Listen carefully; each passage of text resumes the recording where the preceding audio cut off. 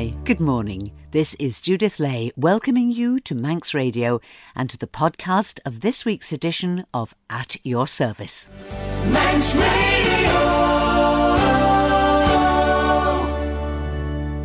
If you were listening last week, you'll know this programme came from Liverpool. I was there for several reasons, but of course, Eurovision was everywhere, and I was caught up in the carnival atmosphere that filled the city.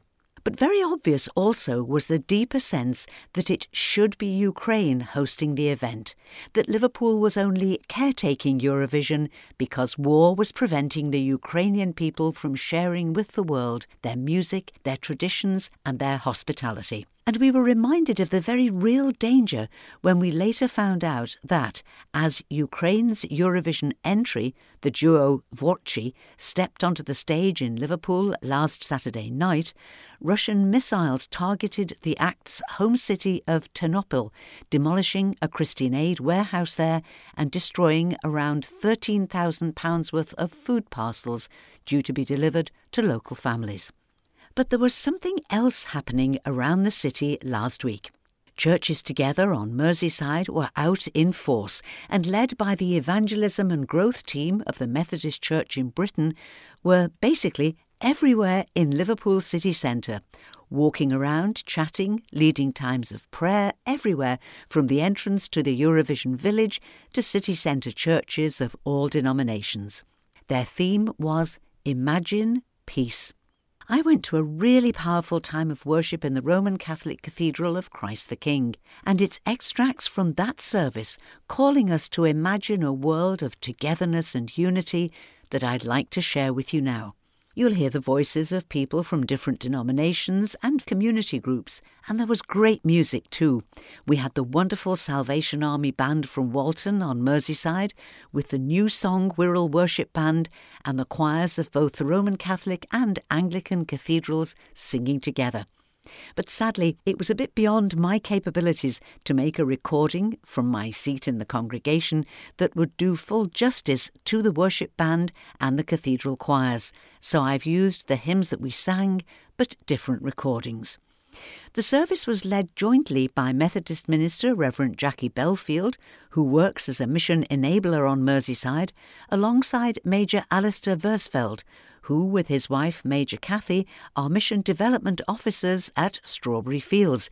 Yes, the Strawberry Fields. You'll hear more about that a little later in the programme. Let's begin with music, followed by a welcome from Canon Anthony O'Brien, Dean of the Catholic Cathedral, and a prayer from Auxiliary Bishop Emeritus, the newly retired Catholic Bishop Tom Williams. Bless the Lord, oh my soul my soul. Worship his Like never before. Oh, my soul. I worship your holy name. The sun comes up, it's a new day.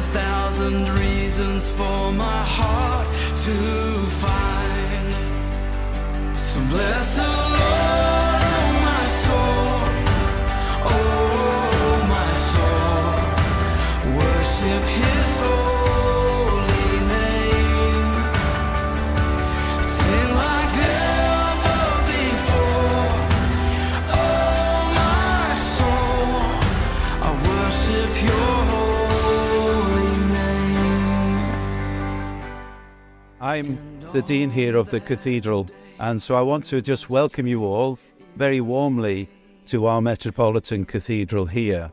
And it is lovely that we're able to gather like this, joining together in prayers for peace. This representatives, church leaders from right across the, the different traditions on Merseyside and the Wirral, and our musicians and choirs represent the different traditions of the churches across Merseyside. We come together in unity to pray for peace. There are so many nations that we want to remember and hold in our prayers this evening. A prayer for peace. Lord Jesus Christ, you are the true King of peace. In you alone is found freedom. Please free our world from conflict. Bring unity to troubled nations. Let your glorious peace reign in every heart. Dispel all darkness and evil. Protect the dignity of every human life. Replace hatred with your love. Give wisdom to world leaders. Free them from selfish ambition. Eliminate all violence and war. We pray for unity among nations. Pray for unity amongst all people. Pray for the most vulnerable. Pray for those suffering. Pray for the fearful. Pray for those most in need. Pray for us all. Jesus, Son of the living God, have mercy on us. Jesus, hear our prayers. Jesus, I love in you.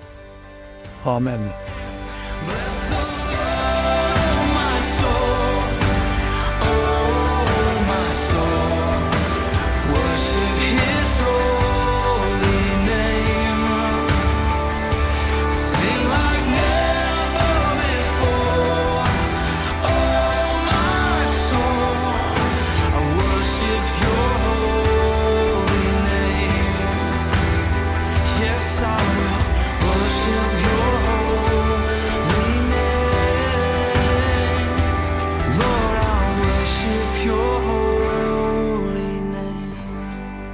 Delighted to welcome a number of people who are going to share some readings with us this evening. Psalm 37, the first 11 verses, and I'm thrilled to invite a colleague, the Reverend Dr. Sheryl Anderson, the Methodist District Chair, to read this. We listen to the Word of God. Psalm 37 Do not fret because of the wicked. Do not be envious of wrongdoers, for they will soon fade like the grass and wither like the green herbs. Trust in the Lord and do good, so you will live in the land and enjoy security. Take delight in the Lord and he will give you the desires of your hearts. Commit your way to the Lord, trust in him, and he will act. He will make your vindication shine like the light, and the justice of your cause like the noonday. Be still before the Lord, and wait patiently for him. Do not fret over those who prosper in their way, over those who carry out evil devices. Refrain from anger and forsake wrath. Do not fret. It leads only to evil. For the wicked shall be cut off, but those who wait for the Lord shall inherit the land. Yet a little while, and the wicked will be no more. Though you look diligently for their place, they will not be there. But the meek shall inherit the land, and delight themselves in abundant prosperity. I promised you'd hear more about Strawberry Fields, and we'll do that now as Major Alistair Versfeld explains the work of the Salvation Army there. So I'm the, the Mission Development Officer for Strawberry Field, And uh, many will know that Strawberry Field is the place where John Lennon used to climb over the fence and go play. It was a, a Salvation Army children's home since 1936. And now it's a training hub for young people with learning difficulties and other barriers to employment and uh, we train them and we, we seek um, long term sustainable employment for young people that need that extra support in, in our society. So that's what we're doing now. And it's a visitor center. So if you've never been, you have to come. We've got an exhibition and a very, very peaceful garden. And certainly we find that people are experiencing God on our site we don't force it down anybody's throat, you know, but we, we believe that actually as we let our, our light shine, we can bring hope and light and, and love into people's lives. History tells us that there's never been a, a, a time when the world has been at peace. You know, there's always been a war somewhere in the world. And wouldn't it be great to imagine peace in our world? We are now going to listen to Walton Salvation Army Band and uh, they're going to bring us a lovely piece of music. That I normally play with them. I was with them last night as we rehearsed this, and it's entitled I Know Thou Art Mine. And I'm just going to draw your attention to two lines. My Jesus, I love thee. I know thou art mine. That's the opening line. And then every verse after that in our Salvation Army songbook says, says If ever I loved thee, my Jesus, just now. What a brilliant declaration. And you may want to make that declaration just as you listen to the band play. Wherever you are, whether you're sitting in the comfort of your home, whether you've gathered with other people, you may want to silently make that declaration. My Jesus, I love thee. I know thou art mine. If ever I loved thee, my Jesus, tis now. Walton Salvation Army Band, thank you.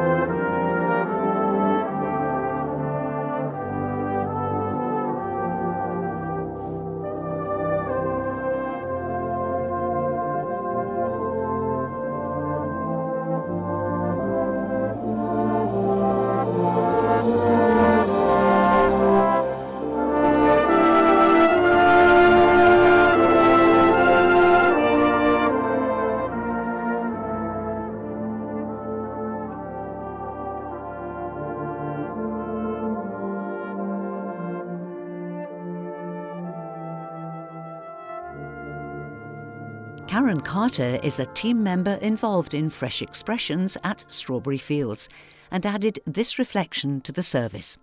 After Karen's words, there's another psalm, Psalm 46, an opportunity for us to hear the Ukrainian language spoken by Darker Brown. These words come from Open Doors, the Christian charity supporting the persecuted church. Blessed are the risk takers, the rebels, and the rule breakers. Blessed are the grieving and the broken. Blessed are the brave and the outspoken. Blessed are the hidden and disguised, who watch their words, guard their footsteps, and fear for their lives. Blessed are those in prison for their faith Blessed are those who are spied on by the state. Blessed are the lied about and cheated, the unjustly accused, the abused, the mistreated. Blessed are those who flee when they want to stay. Blessed are those who remain when they could run away. Blessed are the refugee and the displaced, the exiled and excluded, the shamed and disgraced. Blessed are those who worship in secret, who whisper their songs, hide their Bibles, forgive those who do them wrong. Blessed are those who are scared but choose to follow just the same. Blessed are those who are persecuted in Jesus' name. Blessed are the risk takers, the rebels, and the rule breakers. Blessed are those who have nothing but prayer, for God is always with them, and the kingdom is theirs.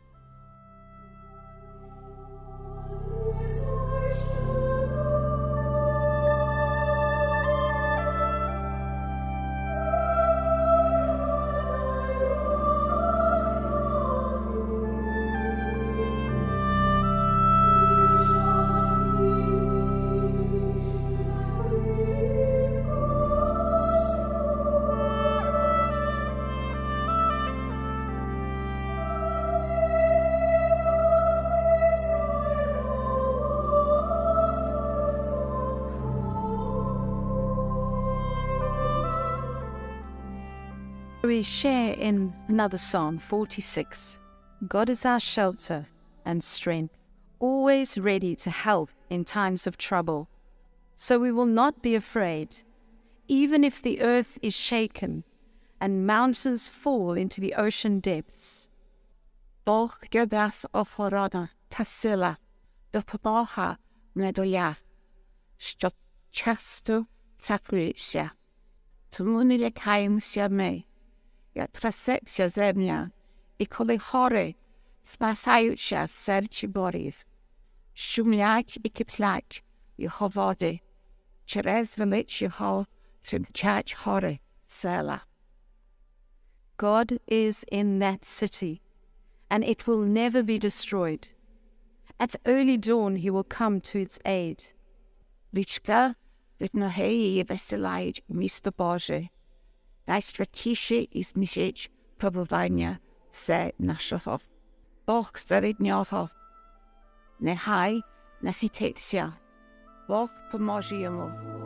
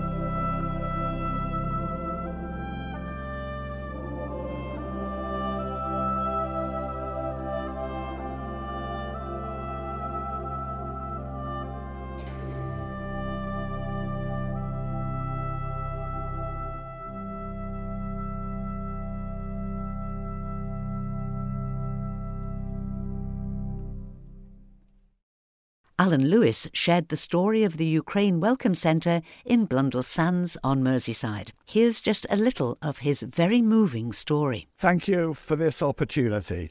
I don't really want to say what we have done. I'd rather say what has happened. Just as background, I'm a circuit steward at Crosby Methodist Circuit, a, a lay preacher, and an old man.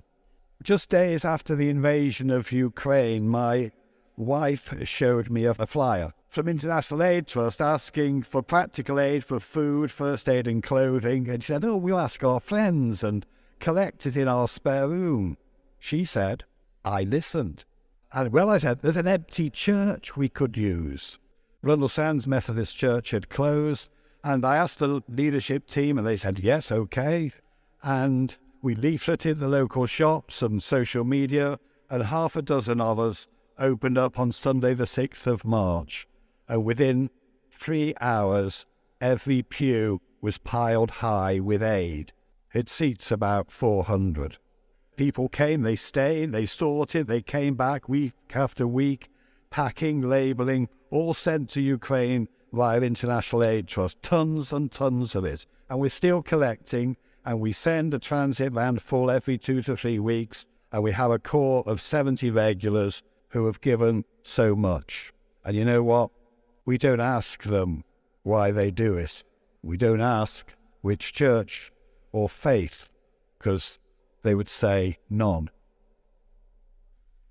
Then the government introduced the Homes for Ukraine sponsorship scheme, and we welcome new arrivals with uh, SIM cards, food, toiletries, clothes. Now, 90% of the displaced Ukrainians are women and children and only a few had good English. Most had little or none. And arriving maybe with just a backpack or a family of five with one suitcase. The centre continues to be a place where they can be Ukrainian together. I wish I could show you a video of the Ukrainians showcasing their culture in song and dance, their pride in their culture, their nation, and their courage and resilience whilst living in such threatening circumstances. And the Ukraine Welcome Centre has been hugely supported by so many by the church, by volunteers, individual donors, charities, grant makers, and public bodies. So it's a massive thank you to all of them. But the heroes are the Ukrainians who are here, bearing such loss and uncertainty, who are making a life here for however long and wanting to repay the generosity they have received. There's nothing ever happens that promotes any faith. There is nothing overtly Christian. A Ukrainian says to me, Why do you people do this? You do this for nothing. Why do you do this? All I can say that this feels a lot like a miracle and it looks to me a lot like the kingdom of God. Lord.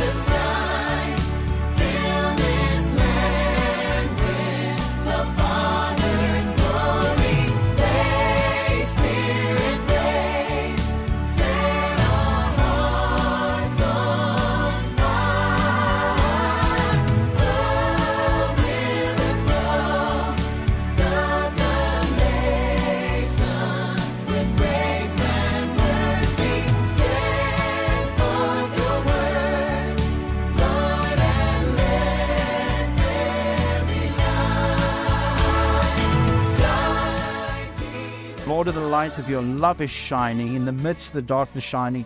And our prayer is that God's love is shining in parts of the world where there are wars.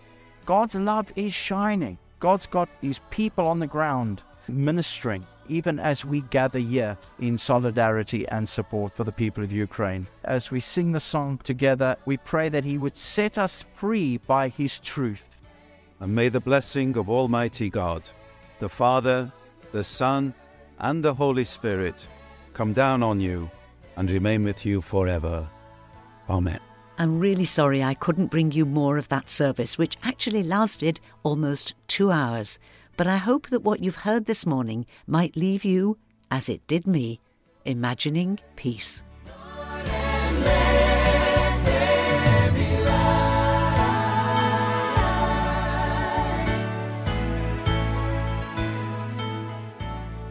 And now it's time to take a look at our notice board.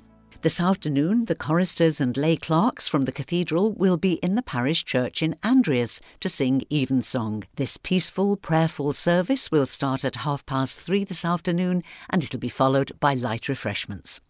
The Mariners are at the Howe tonight for a service starting at the usual time of half past six. Mr. Kevin Mort will preach, and the soloist is Mr. Paul Costain. And the service will be followed by supper and community hymn singing. There's Taizé worship at Dalby again this evening, also starting at half past six. An opportunity for stillness, silence, and reflection, mingled with scripture and some simple Taizé chants. A time to be still before God in a quiet place. Everyone is welcome, and the service will be followed by tea and cakes. Praying the Keels Week started yesterday, offering a selection of walks exploring some of our keels, the simple ruins of ancient chapels scattered in some of our island's most beautiful countryside. The walks are of varying length, and there's a coach trip and a talk too. The best way to see what's on offer is to look out for the blue leaflets that have full details of the whole week, or visit the website prayingthekeels.org and Keels has two E's and two L's. Praying the Keels, all one word, no spaces, prayingthekeels.org. And there you can read about the week's events and download a brochure if you wish. This Tuesday, the 23rd, Sandygate Methodist Chapel will be open between 10 and 12 noon, serving light refreshments, and there'll be a raffle too, with all funds benefiting Victim Support Isle of Man. And that's all that we have time for now. But I'll be back tonight at 9 to open the door to our virtual late lounge for a relaxing few hours with a mix of easy listening music and a bit of nostalgia to round off your day. I'd love you to join me if you can. So, till whenever we meet again, this is Judith saying thank you for listening, and I wish you and those you love a blessed and peaceful week and a very good morning.